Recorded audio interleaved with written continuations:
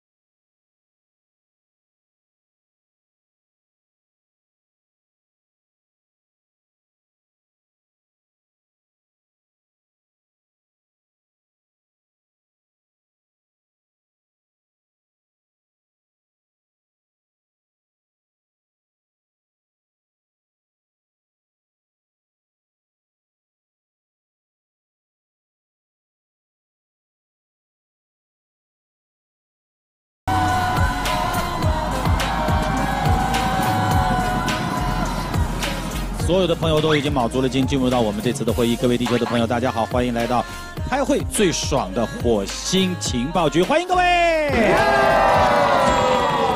我们要欢迎各位地球代表来的由优酷和银河酷娱出品的火星情报局第四阶段的第七次会议现场。另外，远程围观火星会议只在优酷，我是局长。大家好，X 二十三全息幻彩超大广角，发现更多美。本局会议由 vivo 独家冠名，这就是轿跑 SUV 科迪亚克 GT，感谢斯柯达 SUV 家族对本局会议的特约赞助支持。这一季呢，我们一直都强调要有一个复盘的意识。本届的会议呢，已经进入到一半的议程了。我想问问大家，到目前为止，大家觉得啊，前面的一些节目最垮的是哪一个解决方案？好严肃的问题啊！峰哥有发言权，应该是我有什么发言权？作为一个拥有两座喵喵奖杯的人，我有什么发言权？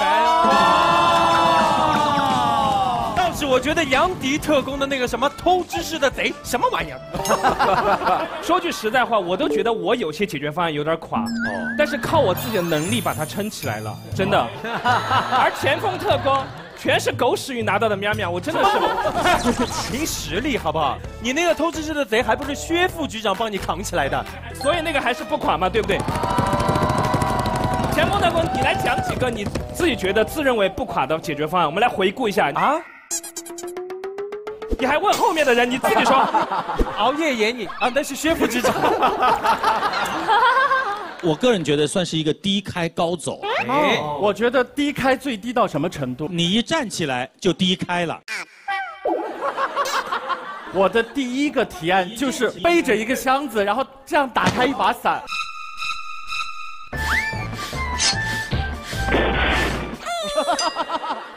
从那一刻开始，就很多人就开始骂了。真的低开就是低到那里的。哎，吉姐，我听说好像现在网上啊，好像有人众筹出钱干嘛？就是为了让他离开。啊！天哪，好伤心哦！怎么会这样？我送你离开千里之外你不要回来。哎，吉姐。你你知道这个事儿吗？第二季播完之后，你知道我看那个节目看那个弹幕太可怕了。我只要一出来，换掉集结，换掉集结，众筹换掉集，真的。但是我不能理解是为什么要众筹换掉我？众筹是要筹一笔钱，这钱是给我还是给谁啊给节目？组。你一说到弹幕，你这个还不算什么啊啊。我们那个薛来啊，年轻帅气，只要他一发言一站起来，弹幕就是牙齿太黄，牙齿太黄，牙齿太黄。哎，我看一下，看一下，看一下，还好啊，不黄啊。还好啦。我知道了，是因为他皮肤太白。对，众筹换牙。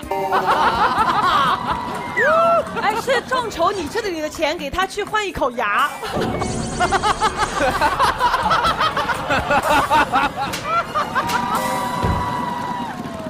以后我们应该是每个特工都非常充分的准备解决方案，尽量的让解决方案不要垮掉了，不要再让地球代表觉得我们在摩擦他们的智商，好不好？接下来呢，我们介绍一下四位非常专业而且想象力齐飞的优秀的地球代表，我们欢迎夏家，牙齿黄，还有牙齿黄，接下来两个人我们要隆重介绍一下。哎，第一位是来自浙江大学生命科学研究院的教授王立明老师，欢迎王教授。欢迎王老师。第二位是优秀的科幻作家郝景芳老师，郝老师的一本小说叫做《北京折叠》。是第七十四届雨果奖的获得者。希望这次来到火星，能够给这个郝老师多一些这个想象力的小点啊！再次掌声欢迎四位。好了，现在开始提案。首先是薛副局长为我们公布今天的第一轮提案的地球困扰。今天的第一个提案是我发现，睡眠问题已经成为地球人的最大困扰。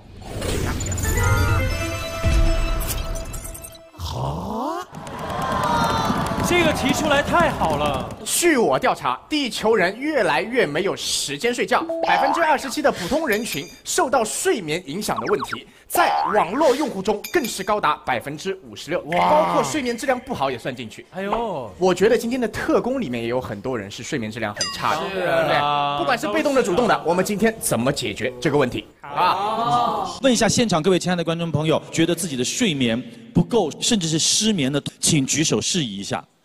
妈呀！哎，我们都每个人都讲讲看，自己熬夜熬到什么程度，好不好？我跟你讲，我现在到什么程度啊？就天已经亮着，我差不多可以开始写歌了啊！我到中午睡十一点啊，完全颠倒了。写歌写着写着，跟那个打游戏，哎，写着差不多打会儿游戏，再写写歌，时间比例差不多是大概写歌占百分之十五。主要是以打游戏为主是吧？对，但是真的，我跟你讲，我那首怪咖就是连着两天，从早吃完早饭开始写，写到中午写完的。哎呦，杨迪，你我就是两天没睡觉，但是也因为工作的关系，要在北京录一个节目。那个节目是我主持的。那天本来大本营找我录，我说我录不了，今天要录那个节目，因为已经定好了。结果到了现场以后，突然通知我们，哦，今天来录影的嘉宾要晚一点来，因为那个嘉宾录大本营去了。那个嘉宾顶替我去过大本营，在等那天要来录我那个节目的嘉宾，录完大本营再来北京录。啊，那天我也在，你不在，那天我在那个大本营那边。对。结果最后我们那期节目开始录已经是凌晨一点钟了，我们录完以后录到了四点多五点的样子，我六点半的飞机我就直接去机场了。到了机场到了无锡以后马上拍戏，一场打戏。我 但是呢，我那天被导演夸奖了，因为我那场睡着了。没有，因为我那天那场戏，我演一个偷车的人，不小心把车车把我锁到车里面，我在车里面困了两天两夜。导演说你这个状态太好了，杨迪你演的太好了，你是我见过最个，你是我见过演的最好，演这种两天也没，因为我确实两天没睡觉，我在车上坐着我都要死过去了，所以还是因为有这种过程，给了我一个特别演戏的经历，可能会拿金鸡百花把那场戏。思达你呢？思达，这是我两年高考，我考了两次，两次总共六天，加起来就是一点儿都没睡。请问你考得好吗？我最后就不幸沦落到中国传媒大学了嘛。啊！你这个人啊，太过分了！真的，这句话，哎呀。因为考生在考试之前失眠啊、紧张啊，这都很正常。然后当时我们班主任讲了一句话，他就说你失眠去考试没有关系，因为失眠不会影响你的发挥，你就算睡得好，你考的也不会怎么样。所以我就听了这句话，然后就是安然的失眠。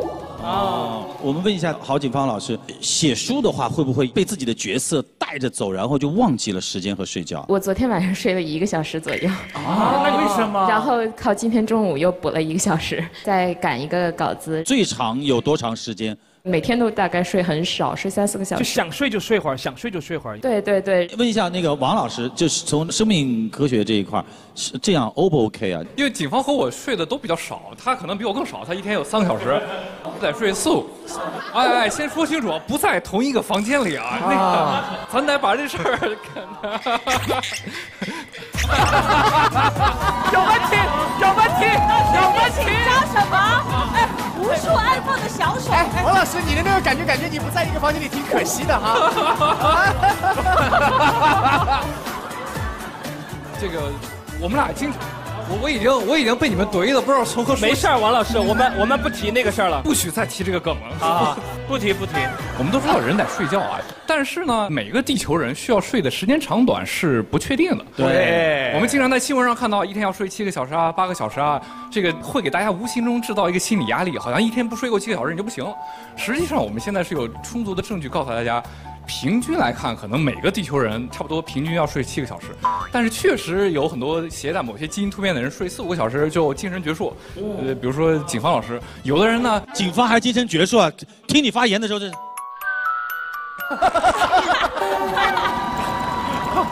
那是你没有见到他困的样子。我知道这个变成一个。我们都救不了你了。是，你是第一个地球代表来的，把自己尬成这样。我已经陷入了一个我自己都不想出来的怪。圈怪圈。王老师您先休息一下啊，您先休息一下，要不然这个弹幕又来了。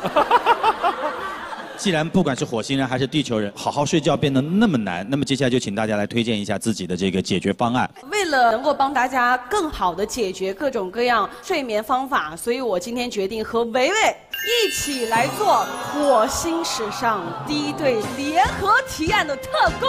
哦，两个人都联合提案了，现在。因为我们就是火星上的双剑合璧，珠联璧合，唯我沉迷，垮上加垮。不可能，我们俩提案从来就没垮过。我来说一个最常见的，玩手机、打游戏、刷抖音，哎呦停不下来的请举手。哇，还有那种职场工作压力大，第二天还要再工作，给自己更大压力，睡不着觉的，请举手。哇，我有很多哎。恋人之间啊吵架，然后闹分手，晚上睡不着的，请举手。姚笛放手，你怎么站起来了你？很有感同身受。睡不着的理由千千万，所以呢，我跟刘维研究了十多年，终于研究出来一款非常好的方法。是的，这个火星解决方案就是强制睡眠保险柜。我睡不着觉，我来了，我也睡不着。我说沈梦辰，我睡不着，我说刘维，我也睡不着。我们睡不着怎么办才好？睡觉，地球人的困扰。睡觉，手机游戏，两个人都走音。今天我们俩一起为大家推荐个方法。强制睡眠保险柜，手机要死了，电脑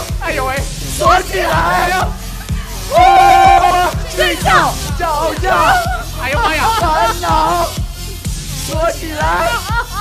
哦，睡觉。梦辰，我见过走音的，没见过这么走音的。不可能，我不没走音啊。可能你们俩后面都开始唱戏了吗？那是有戏曲吗？这个声都出来了，哎呦你们不知道，播出来可能效果很好，你们在现场感受不到。没错，对这个就是我们所谓的强制睡睡眠保险柜。哎，感觉这个盒子的大小啊，放进去可以睡一千年呢。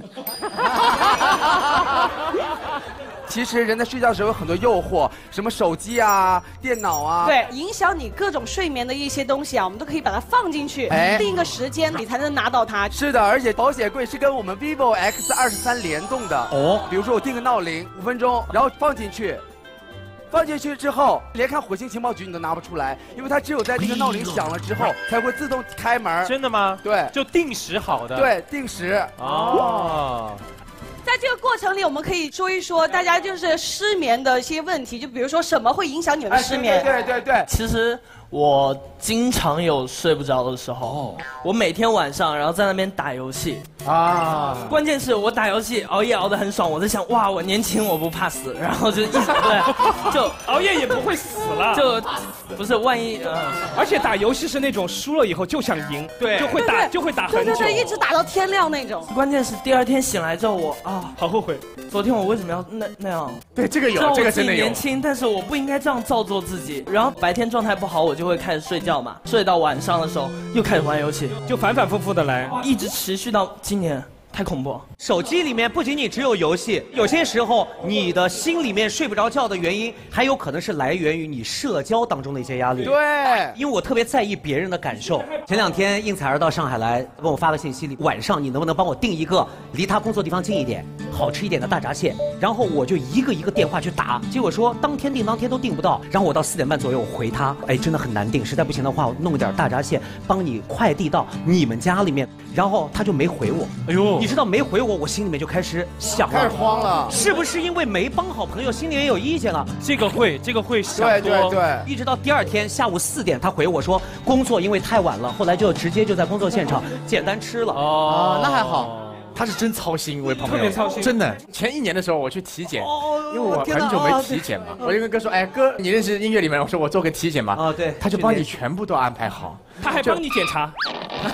就 亲自亲自，那个不用，这个我不敢。我是第一次做肠镜，你知道吗？我又不知道呢。门一开以后，我觉得哎，做肠镜需要需要这么多人吗？有七个人，我还以为我在做歌友会。因为有的人拿个棉花，有的人拿个签子。没有了，没有了，没有。因为你又不能说他用不到它，你不知道。医生就问你要不要打麻药，废话，我说当然要。就因为其实你没有任何感觉的啊，全麻，全麻，我要准备昏过去了。我说哥，你你要不先走吧？他说不，你不懂，你不懂，必须要在这里，你知道吗？二十分钟以后，我说哎哥，你怎么还在？你知道为什么我要在吗？为什么？他帮我看着有没有人拍照。哎呦，就这么细心。因为我在想，你在麻醉了以后很容易就说没有拍照，最后连长镜都没有拍照，白做了，白做，有毛病啊！到点了，到点了，来，三二一，开！到点它自动就会开出来。也就是说，手机一旦锁进去以后，你定一个时间，比如说八个小时，它之间是绝对不会拿出来的。哎，绝对拿不了的。对，我个人觉得这个里面可以把一些杂物放进去，但是杂念放不进去。哎，在脑袋里的东西放不进去。对，心里很多心心念念的一些事情。放不下，你怎么能够关得进去？关进去你也你也放不下。没错没错。思达，你会有这种吗？我的原因和大家不太一样。实不相瞒，这大半年我都在创业。我们的业务呢比较复杂啊，有艺人经济、内容生产和广告增值服务，三位一体、三驾马车并驾齐驱。所以每天晚上我一点到两点的时候都在研究公司的业务的一些事情，然后两点到三点的时候，因为业务研究没明白，所以我在思考另外一个问题，就是如果有一天公司垮了，我该何去何从？天天想着，如果公司垮了，每天晚上，每天晚上都在想这件事情，压力好大。加油加油，老板不容易啊！好好加油，好好加油。杨迪，你会有这些事？因为我觉得你心应该算是比较大。对我有的时候觉得，只要没死，任何事情都不足以让你睡不着觉。真的，睡觉其实就是短暂的死死亡。对啊，哎，当然当然当然。说的，但是我是觉得有的时候，如果有一些节目给到你的压力很大的话，还是会导致你。会想第二天我要怎么录？对，我们全场可以异口同声说出这个节目的名字，叫做他就是《我心情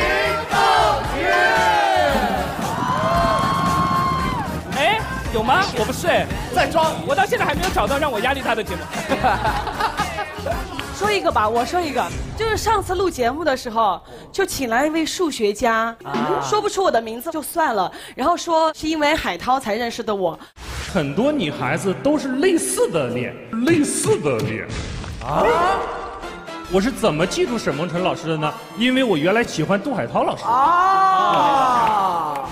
后来我回家我就想来想去，想来想去，我没睡着，我就想我一我一定要把我啊做过的一些事情，还有一些作品啊全部罗列出来，然后发给他或者告诉他。有一天，我想来想去，我也想不出任何作品啊，我觉得 神经病。后来我觉得他说的也对，今天我在这里，我要跟那位数学老师说句话。说，数学老师，你今天是因为杜海涛认识的我，我沈梦辰总有一天会用我自己的作品让你重新认识我。耶哎，好，请问一下那天什么时候来到呢？从这个保险箱出发，再活五百年。哎，我问一下雪芙啊，你晚上你晚上会有没有就是睡不着觉的时候？就不敢看啊，因为其实我也没什么存在感，所以我也不知道看什么。不，我是说你晚上。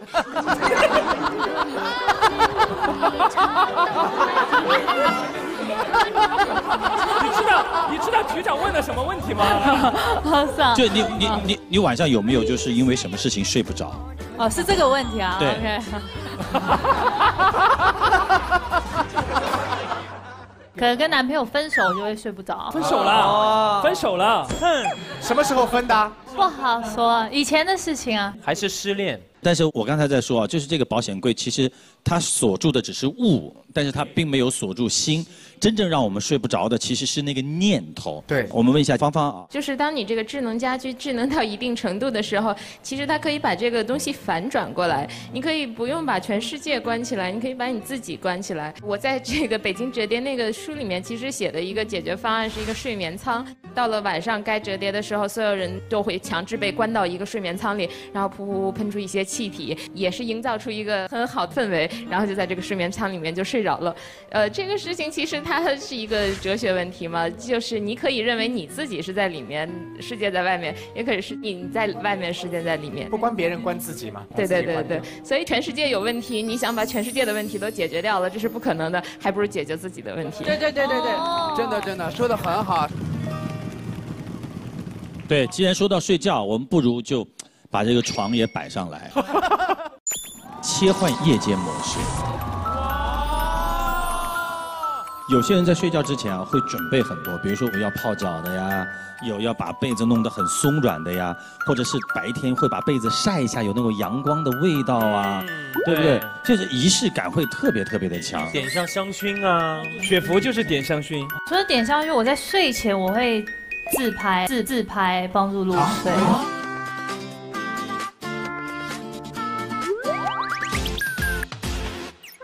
啊，自拍。工作完会有点过于兴奋。嗯你录完这种节目，请问你兴奋的点在哪里呢？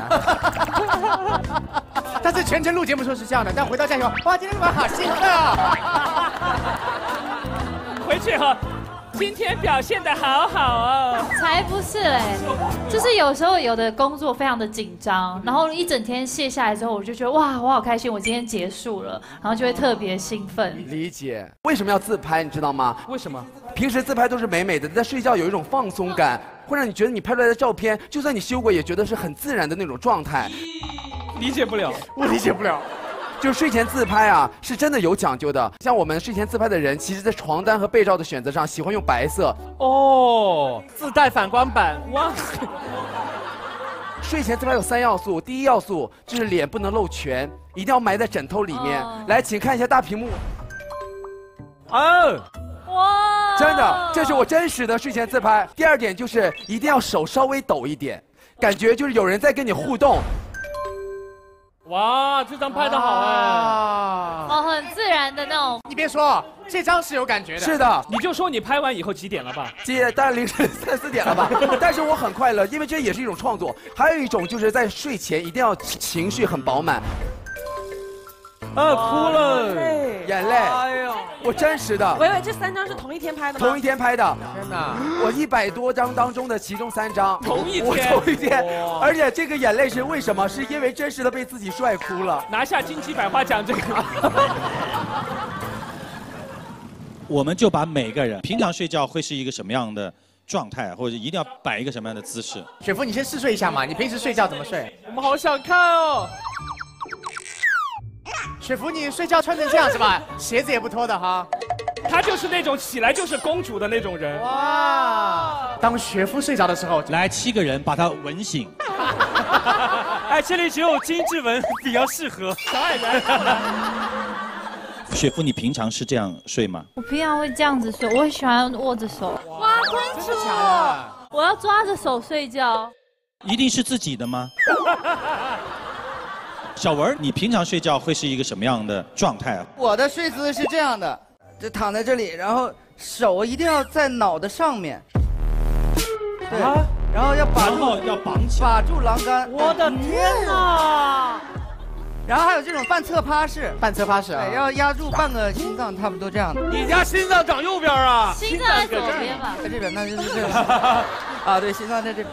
然后这样半侧趴，然后这起起起起来，哎。啊，腿一定得齐起来。我睡觉其实还有一个毛病，就是比如这是枕头，这两个枕头要这样放，它摆正，我一定要躺在中间，然后我还会给两个枕头命名，比如说它叫 Mary，它叫 Isabella。张龙赵虎，王朝马汉。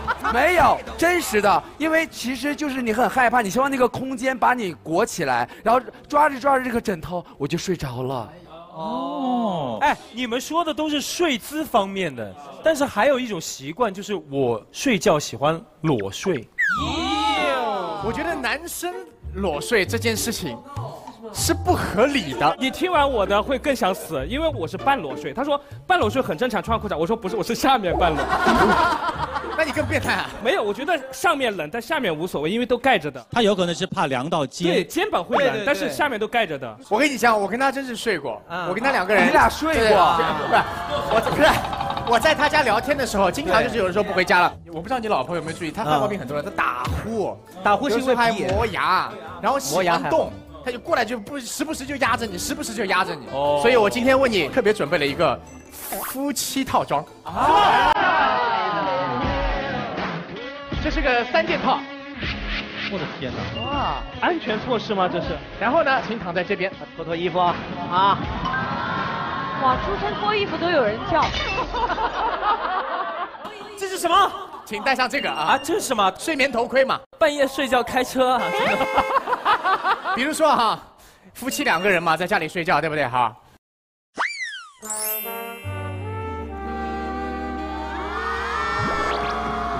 这套是送给嫂子的哈，哎，老公老公来躺下躺下。哈 等一下，等一下，我告诉你，哎，刚才沈梦辰说，好像一个送外卖的睡在旁边呢。没有了没有了，你想想看啊，朱桢经常影响他老婆睡觉，对不对？那在睡之前呢，必须要两个人先沟通沟通感情，聊天的时候呢，你就可以把这个打开。哎呀，老公好久没回来了，多久啊？还有四年多了哈，儿子都两岁了。什么？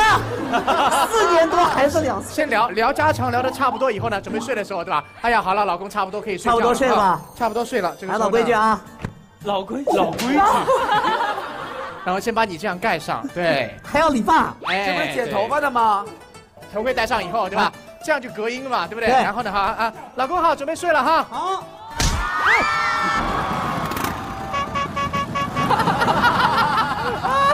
谁都不影响嘛，对不对？很干脆，很直接。还有什么？还有什么？我每天晚上属于那种听音乐睡觉的人，好多人都是。对，最近物业给我打电话，就是因为三点当中，我邻居就举报我说我们家音乐太响了，你放的什么音乐啊？非常大声的古典音乐。我觉得思达的这种音乐的这种助眠方式很对，但是现在更流行的一种是听相声。呃对，我也听相声。一定要听郭德纲，郭德纲的声音我一听着就迷糊。局长，像我来说的话，我要五个小时在家准备睡前仪式。确实有一种那个生发仪啊，他睡着以后就不生了。没有，都没有。第一步，先在马桶上有可能刷刷朋友圈，这个都会。然后第二步，回到电脑前游戏社交，再到卫生间，也是个绝对很棒的地方。浴缸里面嘛，你就说浴缸嘛，就搓浴缸、擦浴缸。你擦浴缸？你们家的人是有多脏？没有，我说如果出差到外面去，你要擦浴缸嘛。最后一步，躺在床上听一听白噪声，天都亮了吧，头发也都长出来了。啊，仪式完成就是五个小时。这是要把自己累睡吧？其实朱桢这个我特别有感受，这个叫做报复性失眠。我们现在人工作太辛苦了，自己的时间被剥夺了，回到家以后报复性的我一定要有一点时间给自己。对，就是放下很多面具。对对对，完全做自己想做的事情。对，其实现在很多地球上的一些个年轻的朋友啊，把熬夜当做一种生活状态。随着时间的推移，你会发现，哎，对你的这个损伤，明天的忧虑交给明天，否则我们要明天干什么？所以。交给明天啊，你就睡着了。到那个时间点，就把手机放到一边，然后你就安安静静的躺在床上，闭目养神，睡得着就睡着，睡不着你也不要给自己加很多很多负担。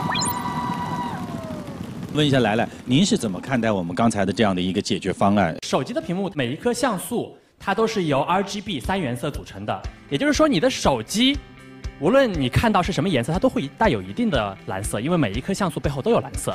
你的大脑一旦看到蓝色的频率的光，你就会觉得像是天要亮了，然后呢，大脑就不想再睡觉了。所以说，很多时候有人晚上起来去上厕所，回来了以后用手机看一下时间，然后手机屏幕一点亮，就感觉困意就没了，然后再想入睡的话就不太睡得着，即便睡着了也不是很深。所以建议大家睡觉前一定不要看手机。嗯哦，人类当中有一个非常罕见的疾病，这个病名字叫猝睡症。我遇到过这样的人。这病是非常罕见的一种遗传疾病。它有什么特征呢？就是这个人他是没法长期保持清醒的，他可以随时进入到非常舒适的睡眠的状态。但是反过来，我们如果想想这个疾病意味着什么呢？如果我们有一个办法把大脑当中控制这件事儿的这个这个信号人为的开关它，那你就可以让一个正常人。也突然进入到一个非常舒适的睡眠中去了，想睡着的时候就睡着，想醒的时候就醒，保证每天都会有非常充足和美好的睡眠。我就补充这么一点，谢谢。啊，我觉得刚才补充的那一点特别让人向往啊。对，真的能够有一个方式，不是靠吃褪黑素，不是靠吃什么一些药物，安眠药呃对，用一些什么样的方式，啪一下。他能够睡着了，而且进入到一个非常好的状态的话，我觉得这真的是所有地球人的一个福音。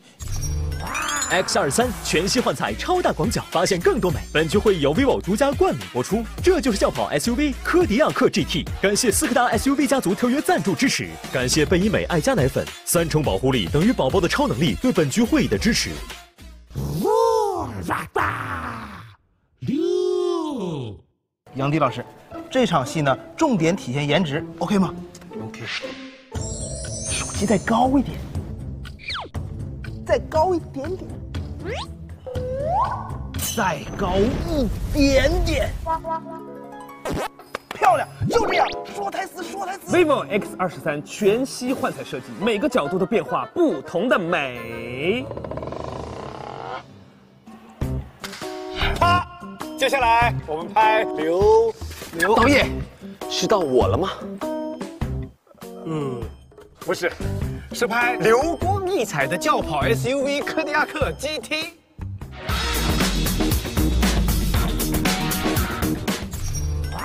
接下来我们有请雪佛副局长来提案。好的，那我的第二个提案，我发现地球人普遍缺乏勇气。我们经常会听到很多身旁的地球人都会抱怨追不到自己心爱的人啊，或者是在工作的时候公司难出头啊，在各个场合都没有表现的机会，但实际情况往往是害怕表现自己或是表达爱意，总是没有胆量多跨出一步，所以地球人普遍缺乏勇气这件事情，我们必须要解决。谢谢。我们上海就相对来说比较偏含蓄，对对对需要勇气这件事情对我们上海人来说还是挺重要的。是的吗？来，你你来提，你来提。因为说到害怕这件事情啊，每个人害怕的点肯定是不一样的。嗯有人害怕整理行李，有人害怕关灯睡觉，有人害怕揉一揉眼就错过了你。哎呦喂对不对？如果我掉入了海底，我觉得我要提一个相对来说它的智慧含量比较高，并且有高端解决方式的一个提案。哎，那就是我希望能够把每个人的害怕说出来，跟别人的害怕 battle 比拼一下，看看到底谁害怕的更加奇怪、更加奇葩，是可以把害怕变成乐趣的。所以呢，我们这样的一个桌游叫奇葩杀。奇葩杀杀奇葩，杀奇葩，杀奇葩，奇葩杀杀奇葩，姜思达，我玩不了这个游戏的，真的，我会先先死。来看一看这个火星桌游到底怎么玩。接下来啊，大家都把自己害怕的东西要写在这张卡片上面。你可以通过写的，也可以通过画的。而且你们可以想象一下，你最厉害的是什么点，然后我们大家摆到台面上，一起来比拼一下，谁的害怕的点最奇葩。来来来来来，玩游戏玩游戏。我先挑杨迪，给大家打个板子。行行行，好，我我怕狗，我不知道为什么越怕狗的人，狗能感觉到你怕它。你们有这种感觉没？我记得有一次我在街上逛街，大马路上有一条狗在追有一对情侣，那肯定是单身狗，单身狗。那个男生在骑，那女的坐在后面尖叫，因为狗在追他们。啊啊啊那女的说：“骑快点，骑快点儿，狗追上，就很恐怖，离我很远。”我说：“妈呀，在追他们，我离他们远一点。”我亲眼所见那个狗是这样的，哇哇哇！我如果撒谎，我是啊。然后怎么样？狗就哇哇哇对着我来了。还好我旁边有那种散步的路人，有一对情侣俩，我抓着那个男的，我说救命救命！那男的就这样，救，救，然后他就救了我一命。好，我就出这张来跟你来斗一斗啊！因为局长知道我们家都是画画的，所以呢，我平时也经常会亮我们，让我们看不看得出来？你看得懂我这幅画吗？啊，对啊。好，你怕的是你愧对祖先。哎呦我天哪！我最害怕的是壁画。壁画，壁画就墙上的蒙娜丽莎那些。你画的这跟壁画有一毛钱关系吗？就是我当时看到过一幅壁画，后来有一个故事，大概差不多十一年前，我是到我们就是上海在朱家角附近，你可以大声点，有一个。没 有没有。没关系的。营造营造气氛，在长三角的一个水乡，我去拍旅游节目，然后拍一个旅游节目呢，晚上住民宿，辛苦了一天，我晚上回到那间民宿。到了民宿里面以后，一看，哇，里面的装潢布置感觉很有艺术感。嗯，就在正对墙的位置的对面，就有一幅这样的一个女孩捧着一个陶罐的一个，你知道那幅油画吗？我知道知道知道你知道吗？就是一个桃字的那种，就有一幅这样的一幅画画在对面。我想，哇，还都很有艺术的修养啊！这个屋主看来不错。然后我就整个休息睡觉，大概差不多到了两三点的时候。我自己也就不知道为什么莫名就醒过来了，因为我发现房间里面有闪烁红光，我就不知道是为什么了。然后我就望向天空，我就看怎么一闪一闪，顺着那个地方找过去，就那幅画的眼睛它在发红光，你知道吗？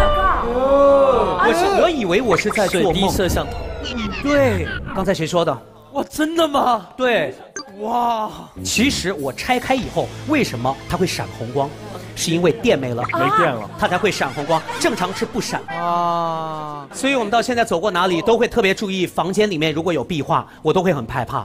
我心里面会想，会不会有一些装着什么样的东西？哎，这个有点吓人。我个人觉得害怕的比较有趣的、奇葩的壁画。还有人向我发起攻擂吗？我我攻，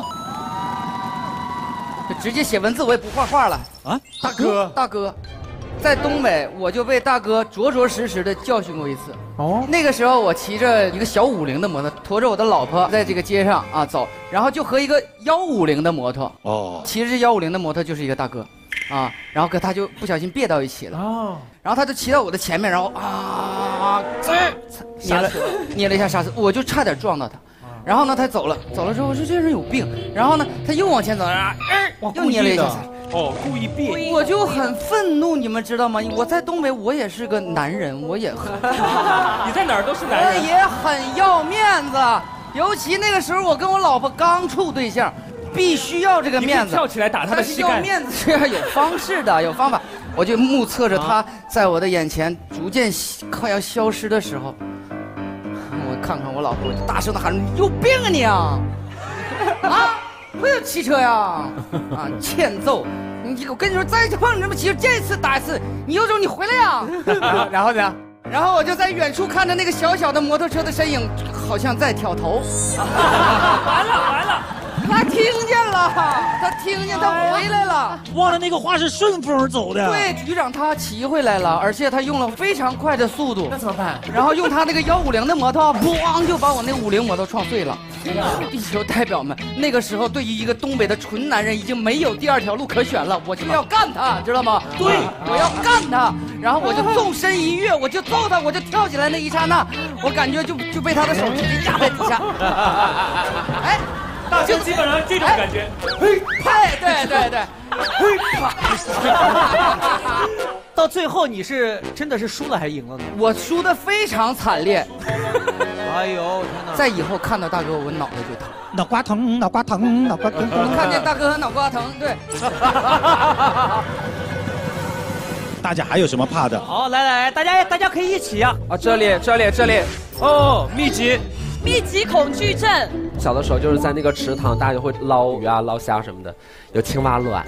密集。哎呦我的天！哟，那个青蛙卵，你把它装到那个瓶子里面，就是，对对对对，我懂。带状的条条形。然后它稍微发育一点，每个都开始钻出一点小尾巴。不是思达，思达，你去没去过深圳机场？对，深圳机场就是青蛙卵，对，一模一样。哎呦，一抬头。全是一格一格的。最可怕是你看到密集的东西之后，你会起鸡皮疙瘩。对，鸡皮疙瘩同样很密集，所以你就看完那个东西，看鸡皮疙瘩就啊就继续，就越来越怕，太难受了，太难受了。哎，哦，维维还不服气？不不不，我最后一个了，最后一个非常简短和有素。我特别怕开车的人，因为开车的人表面上脾气都柔顺，但是每次开车的时候都非常的凶啊。但是呢，自从拥有了柯迪亚克 GT 斯柯达 SUV 家族之后，我再也不怕开车了，因为车里真的好舒适。那就你了，好吧，就你了，好不好？好，就是你了。我们接下来选一个害怕东东里面的火星怕怕王。其实我觉得真哥的那个摄像头比较可怕。哦，那个那个。我也觉得，我也觉得。那个故事性很强。来来来来来，我们就选这个好不好？好了，好好。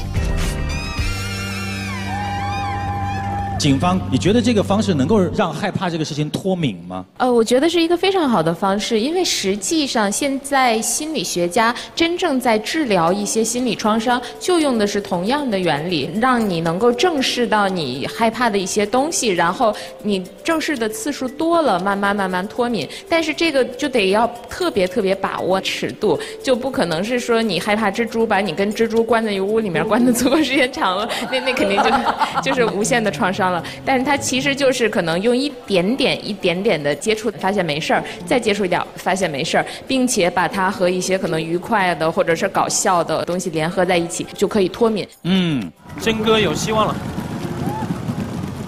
好，接下来第二个解决方案。第二个我来帮大家解决解决。哎呦，来了抢手了。我觉得地球人在职场和社交当中，有的时候缺乏很多的勇气。比如说开会的时候，你明明有一个很好的点子，结果你，嗯，算了，我还是不说了吧，很尴尬，你就不说了。会有，对。哎呀，领导来了，我跟他聊一下。算了算了，他是领导，我不跟他讲话，你就不由自主的怯场了。对对对。我搜罗了地球的物种，我发现有一个物种又机智又大胆，就是我带来的一个产品。我的火星解决方案就是大胆杨迪。哎呦，我除了怕狗、怕飞机，别的什么都不怕。是绝对不要脸。就像他们说怕大哥，我不怕大哥的，管他的。我觉得我有道理，我就不用怕他。大哥从来大哥从来不讲道理。我跟大哥讲道理啊。大哥看到他笑死了。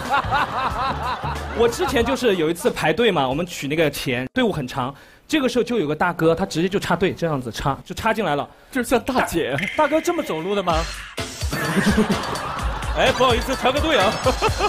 大哥，广场舞在那边。然后呢，真的大家都很害怕，大家都没有说。然后我一看这么多人，我说有什么好怕的？哎，我说不好意思，那个我们都在排队取钱，能不能麻烦排一下后面？因为这么多人。那个人说，我不取了，我等着你。哦，你说我也不嫁了，我陪着你。可以可以。然后我就不管，我还是照样取钱。平时我回学校坐公交车就回去了，我就往公交车站走的时候，发现大哥跟踪我。一直在跟踪我，珍珠没有那个大哥一直跟踪。然后我在想，如果我在公交站台逗留太久的话，他冲上来按着我打，我完蛋。还好刚取了钱，决定打车，taxi，就最快速度要逃走。正要我打开门的瞬间，大哥砰，抓着我的门，哟，老子今天要揍你！哎呦，怎么办？然后那人特别多，我说有人要打我，有人要打我。大街上，我说因为他刚才插队，我让他不插队，他要打我，你们帮我作证。然后那个大哥真的放过我了，厉害了啊！真的胆儿大。所以各位有什么人生中你觉得自己没有勇气的事情，可以让我帮你解决一下？那大胆杨迪，我来挑战一下。有一种事情是非常难以启齿的，就比如说跟领导要求加薪。哇塞，你让现在在现场，我很难跟局长起 说我要加工资，麻烦你帮我一下吧。哎，加工资不是我的事儿啊。对啊，你找错人了吧？对啊，这是你说不出口啊！你现在节目上都说出来了，你还有什么不大胆的？对啊，你都把它当做提案在这里说了。胆大包天，还需要我帮你吗？听到了吗，才哥？我们都不敢说啊。而且，在这么多人面前说，屏幕那头有那么多的人，这个是进行道德绑架呀！哇，你连这个都敢，太庸俗了，这种人。说实话，我人生不会提这种要求，我只要精进自己，人家自动会帮你加薪。像这种人还要提，我的天哪！对，这是一个坑是吗？我以前我雪服也有问题，我对，呃，刚入行没多久，也要去试一部戏，那个角色是要饰演一个性感的空姐。哦。但是那时候我还不太懂，就是要怎么表现出来，所以我非常的紧张。所以你在问我如何表现性感吗？是，没错。啊，其实他总归来说不是在讲性感，是在讲试镜的时候遇到有一些他不太擅长的事情。朋友们，我试镜都被要求展示过性感。我真不骗你们，周星驰先生，我当时去演《西游降魔篇》的时候，他突然搜了一段非常性感的健美先生的那种视频放给我看，然后看完以后，来，你就演个这个。他喊了他秘书进来，他说，你现在演这个健身先生追求这个秘书，我就开始，我这个性子正在演的时候，他说，外套脱掉啦。我脱，因为我在试镜，我觉得应该的，没关系，我就脱脱脱。然后我瘦的要命，难看的要死。然后那个时候夏天满背都是痘，我就在那边追求他。我这么帅，这么性感，你为什么不追求我？演了很长很长一段时间，最后周先生还点评我：“ 你声音小声点啦。”但是哦，最后我还是去拍了《西游降魔篇》，所以我觉得。你在他面前展示出你什么都不畏惧，该演的时候我能表现我就尽力表现，真的会让他注意到你。很难哎，我都没有都敢展露，你有还不展露也是太尴尬了吧？那我们现在就让雪芙来一段好不好？外套脱掉啦！有毛病啊！开玩笑，开玩笑。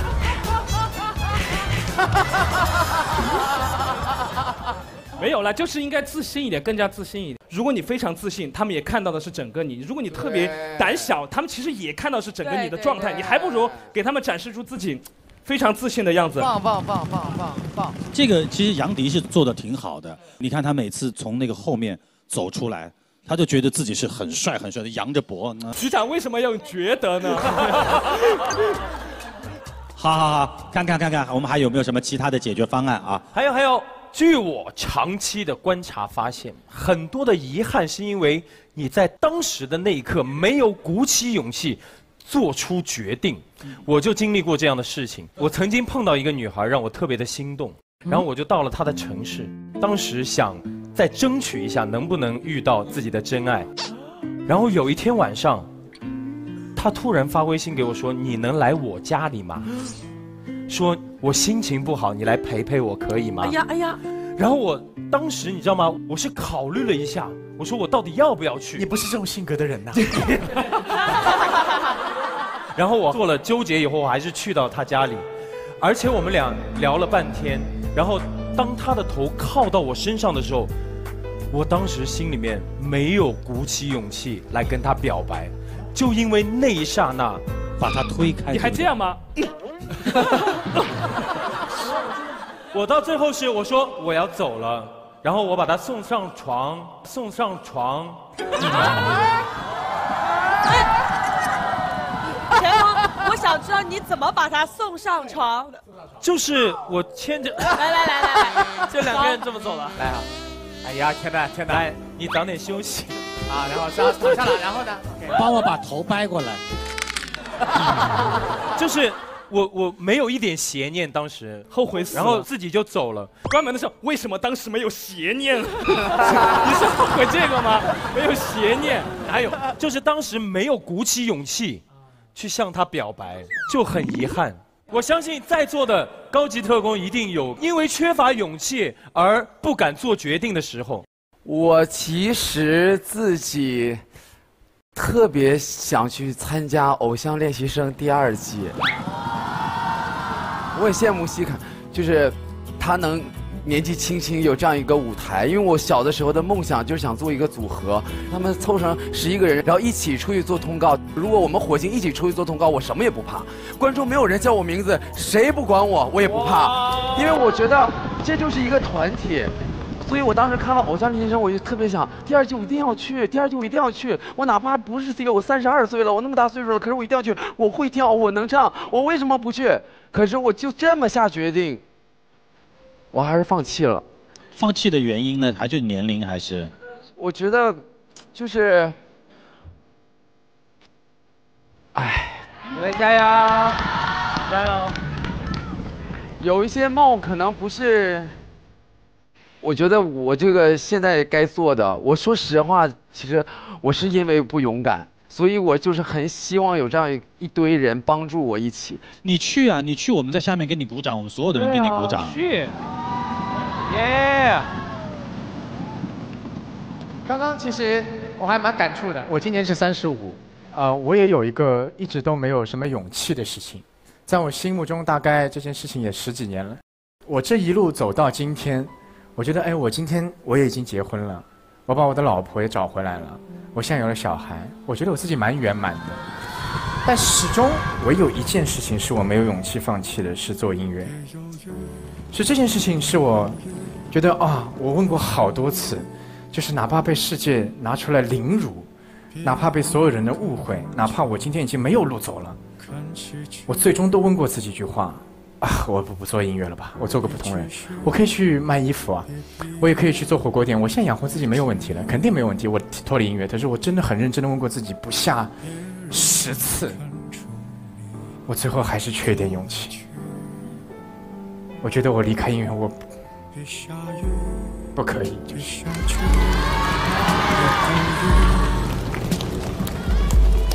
除非有一天我自己觉得我自己写不下去了。薛之谦，我们认识太早了，我们还看过他那阵，就是算是他口中的过气那段时间。但是他永远都在出歌，我们有的在想，哎，这个时候还要出歌吗？但是他一直在出歌，然后我们也会帮他转发，怎么样？不管多少年前，我觉得他这个坚持非常正确。你看他现在有多少脍炙人口歌，在家在传唱着。其实有些勇气是让你坚持下去，对；有些勇气是让你当机立断。所以你跟雪芙该断就断吧。所以今天我的火星解决方案就是让你有决心、有勇气说出你想说的话。这个解决方案就是决心啪啪板。耶！大家看到了，这个就是我带来的火星解决方案——决心啪啪板。这个长得像一个。片场的打板器有没有？对，当你站在上面的时候，我这边啪一下，你就马上会鼓起自己的勇气，然后下定决心去说出你没有勇气去决定的事情。大家要不要来试一下？来，我来，我来，我来。哎呀！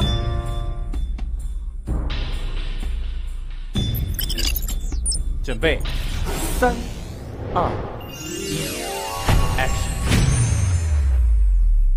我要来稍微煽情一下这件事儿。其实从我录《火星》的第一集，我就一直想对这个当事人说，但是我一直没有说过。我想对他说三个字。在五六年前，我在湖北卫视有一档节目，我跟李博儿主持了一年多，都特别好。忽然有一天说有一个男歌手要来做另外一个主持，然后我就特别紧张。我那天就提前一天飞到武汉去，然后就去看台本，我甚至还去改台本。台本说要让这个嘉宾站中间，我说不行，要让女生站中间。就是每一个细节，甚至有些权益的东西，本来写的是这个人，我就改成集结。录完之后，这个当事人送了我一张他当时的唱片，他在唱片上写了这样一段话，他说：“集结，跟你比起来，我们做音乐放下的东西不值一提。共勉，加油！因为这句话，我到今天心里都还有一块地方是留给音乐的。”这个人其实就是在场的薛之谦。我听到那里，我才反应过来是我。我觉得可能他都没有记住这件小事情，但是我特别想对薛之谦真诚的说一声，对不起。哪有，亲爱的？天哪！哪有，亲爱的？哎呦？你这个感动到我了，你这是混蛋！说出来啦！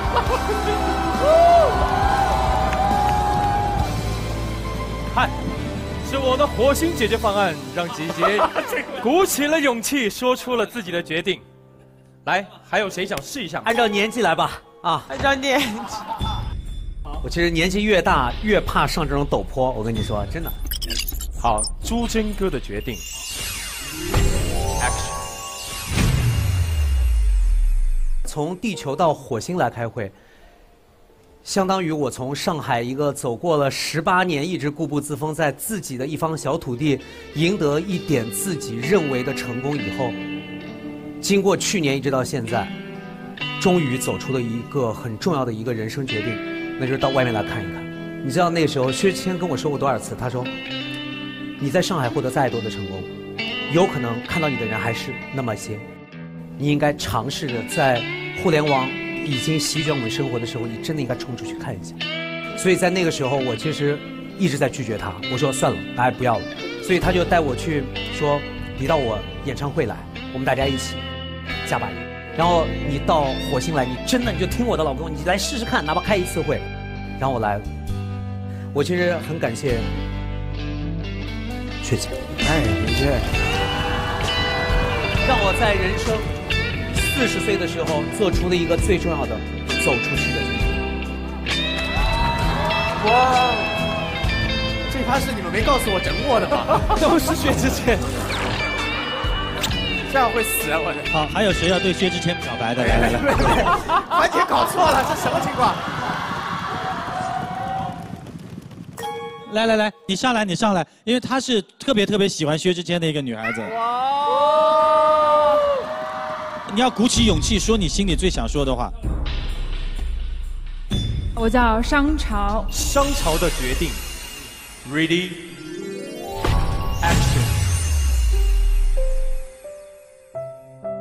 一个努力的方向吧，因为我自己也会写歌，也会创作。因为之前参加超女，然后就是开始接触音乐，喜欢薛之谦已经很久了，所以我希望未来的有一天可以和薛老板有合作。学习你的坚持，好好加油，一定会，一定会。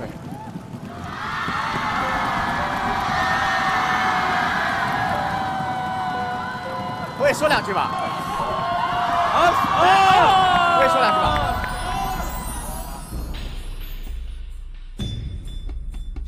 薛之谦想说的话。谢谢，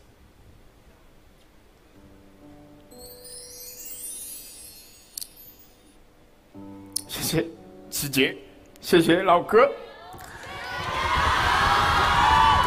尤其谢谢那个女生，为什么？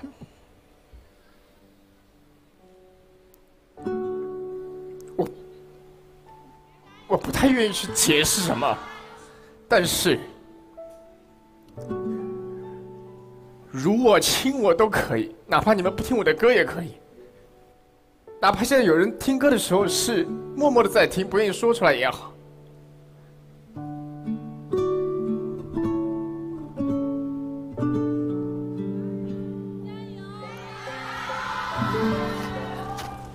我说过的，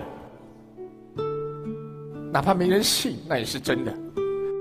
谢谢这三位今天站出来说喜欢我，这三个词对我现在的我来说很重要。我觉得哪怕对，谢谢每一位人，我相信我的故事有一天会被别人看见的，会大家知道真相的。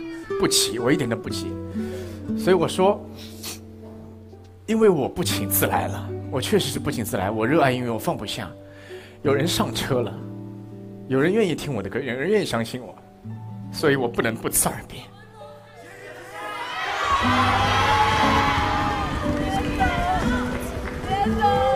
我我其实已经很犹豫过，我要不要来参加《火星》这个节目。我一直在犹豫，因为我觉得好难哦，我觉得我们大家都好难，已经到了瓶颈，大家也不知道再聊什么，或者是再怎么突破自己，再怎么让大家好笑。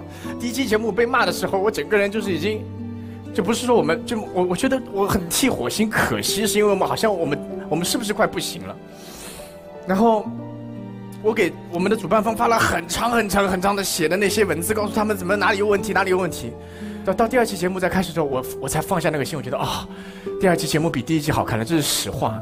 我就觉得，希望大家能包含我们火星，哪怕我们有的时候尬，有的什么，我们只是想让你们笑，或者是我们只想把这件事情坚持下去，因为我们坚持了三年了，真的不容易。希望大家如果有的时候看到我们很尬，或者是我们在尽力想把这个节目撑下去的时候，如果你们觉得实在不好笑，如果你能不骂我们，哎就是我们会尽力把你们逗笑吧，就是这样的。对。是什么？有尿性！我的幸运是世界和平。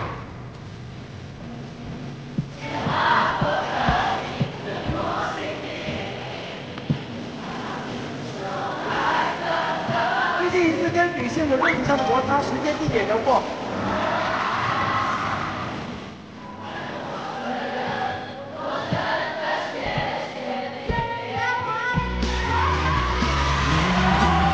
不要说。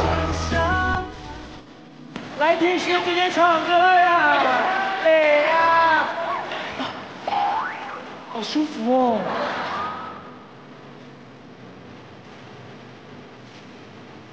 根本不可能有人可以打死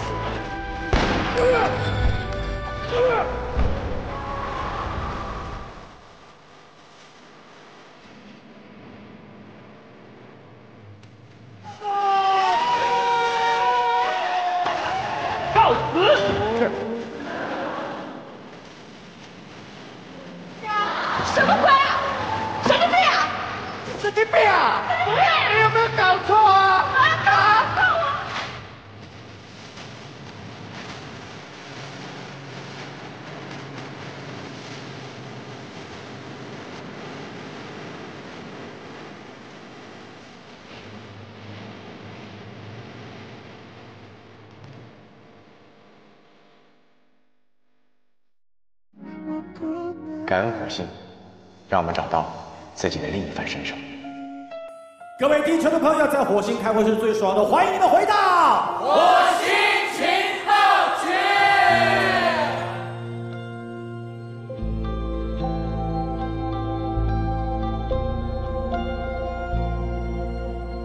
火星情报局会是永远的一家人，谁都不会走。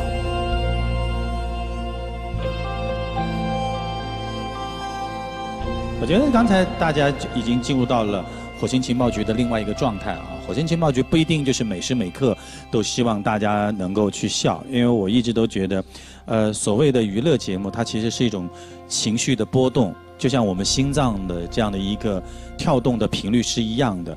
跳动过快了，它防战，它很有可能会给你带来心脏的一种巨大的负担，不跳也不行。我们今天的节目当中有很开心的这种笑声，我们也有现场。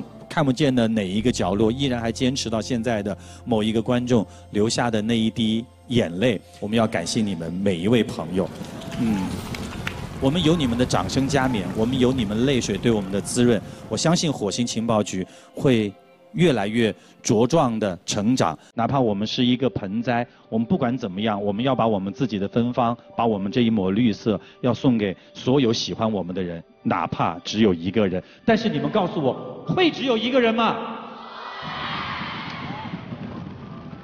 我其实很少看到吉杰在台上那么的轻松，说完之后，耶，就就很轻松，很轻快，对，压抑了很久。哎，我觉得火星情报局有这样的一个功能，是我自己愿意在这里坚持下去。以局长的身份，我已经四十五岁了。我非常希望哪一天我能够有勇气，不管是在哪个舞台，拿着话筒，以主持人的身份说最后一句话，因为我非常非常担心我说的话不够好，还不够给他们一些非常正的能量，不能让他们感觉到温暖，不能够让他们感觉到这个世界的光彩。所以我现在一直都在等待这个勇气，到有一天我也不知道是什么时候，有可能是下一期节目，有可能是明年，有可能是后年。然后我说，因为我不请自来，所以请接受我不辞而别。然后我就，呃，踏踏实实的离开这个舞台，换一种方式，依然可以回馈这个社会，回馈这个时代，回馈这段历史的一些事情。我觉得，真正的勇气。一方面是让你坚持一些东西，还有一些勇气是让你敢放下一些东西。所以，我觉得钱枫今天的这样的一个解决方案还是非常的靠谱。嗯。但是我觉得靠谱不重要，最重要的是我们场上的几位老师。我们首先有请薛来来来。我觉得今天看到的所有的方案里面，就最后这个啪啪板是最符合科学上可以实现的原理的。哦，你看人家多理性啊，一点都没有开始说哇，我好感动。就是你在早上的时候想要起床，但是你躺在床上身身体实在是太舒服了，就不想要爬起来。有一种做法可以让你保证在这一瞬间可以马上弹起来。哦，就是你可以跟自己立一个约定。当我数数数到五的时候，我就会立刻从床上坐起来。你会发现一定能够坐起来，而且每一次都行。它这个背后实际上有一个很好玩的原理，就是说你跟自己立了约定，你会觉得这是有一种仪式感，因为我有这个约定，所以我一定要把它做到。这个花板有话不敢说，但是我告诉我，我听到这一声响声的时候，我把它说出来。这一声一响，你马上真的就能说出来。这个原理是非常靠谱的。嗯。两轮提案已经全部结束了，最终的王牌特工人选，我们必须要听一下意见。既然把这个大任交给我，我决定特别特别任性的宣布一下我个人的决定。OK。第一位入侦特工的那个奇葩纱，另外一套呢是睡眠强制保险柜。哇，朱桢有两枚了。哇哦，已经第二枚了。哇，谢谢局长。哇。人手一枚，梦辰。天哪，哎，两个。好的，现在拿到了这个徽章，离王牌特工就只有一步之遥。你们两个人当中派一个代表出来，跟朱桢石头剪刀布。梦辰，好。石头，剪，刀，布，布。哇！哇！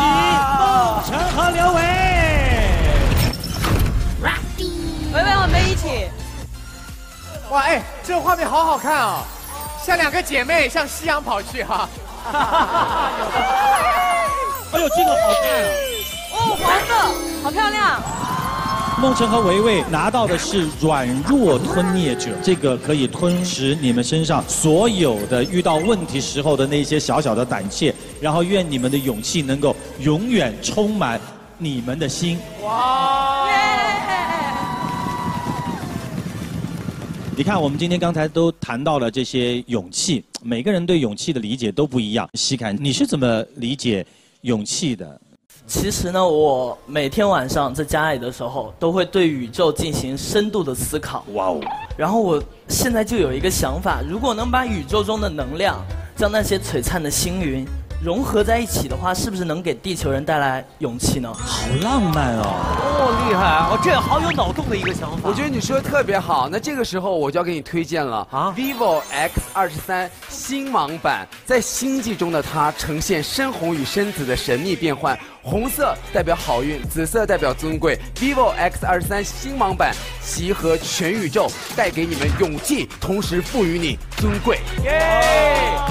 拥有它就拥有全宇宙。西卡，你没有拿到王牌特工，我送给你 vivo X 二十三星芒版。还是这个好，那我太开心了。这个让我有勇气，就不会再再软弱下去了。太开心了。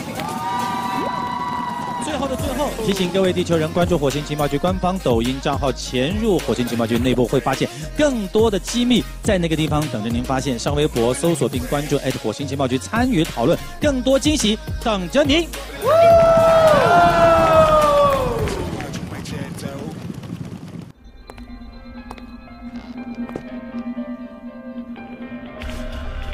说说吧，你这一路的感受。在整个行驶过程当中，车子总共颠簸了五次，左转弯四次，右转弯三次，上下坡各一次。期间我两次耳压失控，应该是经过了隧道。车开了多久？车在开的时候，我一直在用我的脚打拍子，通过隧道内的灯光扫过我眼睛的时间，以及两只灯之间的距离来推算，车以六十码的速度开了二十三分三十五下一个。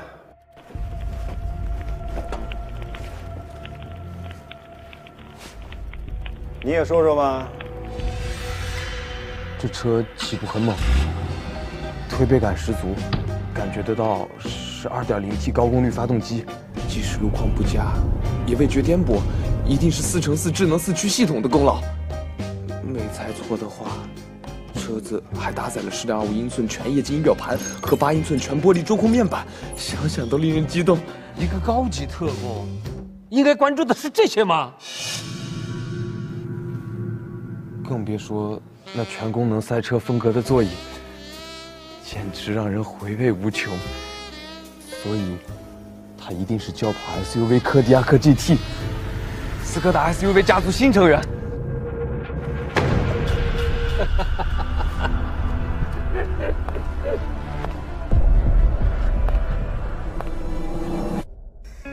太棒了！这正是我想要的。不是，那个你坐下，我就让你帮我试试车，你给我嘚瑟什么呀你啊？不是我嘚，我让你嘚瑟嘚瑟！哎，不是所有特工都能开上火星特工车。Hello，大家好，我是火星情报局高级特工前锋，点燃想象力，爆发创造力。有没有兴趣来一场头脑风暴呢？快来迷你世界关注我，大家一起来 rock the world！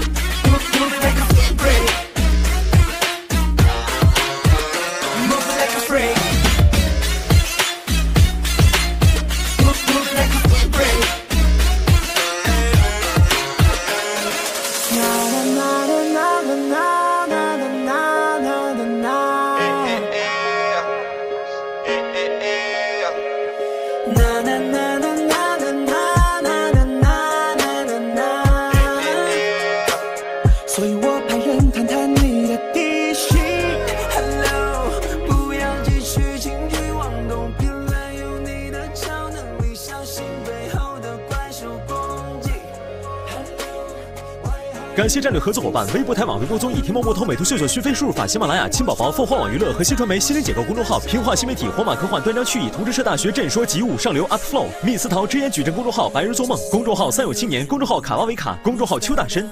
感谢墨迹天气、扎克尔、中华万能力、天气通最帮一克、迪达出行、QQ 新区部落、QQ 看点、趣头条、黄油相机、玩吧、天籁 K 歌、秒拍、懒人听书、车轮、迷你世界、健美新闻、好奇心日报、超级新闻团、idol onward 粉丝网、胖星、牙关注、唯票第一弹 full fans、鱼丸、星霸、模范生、发 idol、巴沙印、网易邮箱、草头专车、妈妈网、他社区。凤凰时尚 Only Lady 世纪佳缘百合网 Echo 回声蘑菇租房鲍鱼互动一点连接，讯飞阅读关注网黑鱼周到本地头条大拉顺风车塔图康乐手账积木蜗牛睡眠九幺桌面全民表情中国移动和彩云来话美人相机型男相机二一相机简拼印象有道词典学霸君上面英语八趣酷我音乐网易音乐荔枝铃声多多蜻蜓 FM 白熊阅读接电无他相机对本节目的大力支持。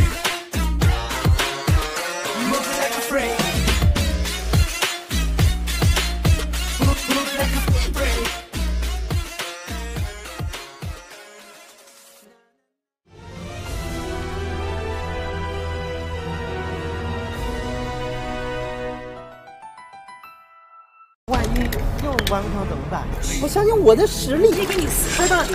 我知道我不能思考，杨天宇，我注定是当不了的。我们觉得可能不会胜任，退出。这雇主的日子不好过，我怎么可能有好日子过啊？我不想因为炒 CP 而提升人气。通常女人喜欢一个人的时候都不会表现出来。这世界很酷。